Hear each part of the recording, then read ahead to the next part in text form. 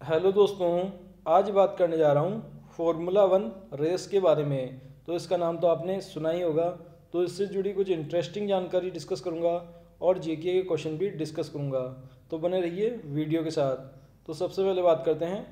Formula one की गाड़ियाँ 360 kilometre प्रति घंटे की रफ्तार से भागती है। नेक्स्ट है, इसमें आधुनिक तकनीकी का इस्तेमाल होता है। और ये गाड़ियाँ बेहद महँगी होती है। नेक्स्ट है यह खेल यूरोप में अधिक आयोजित होता है। नेक्स्ट है पहले चरण में सभी चौबीस ड्राइवर रेस करते हैं।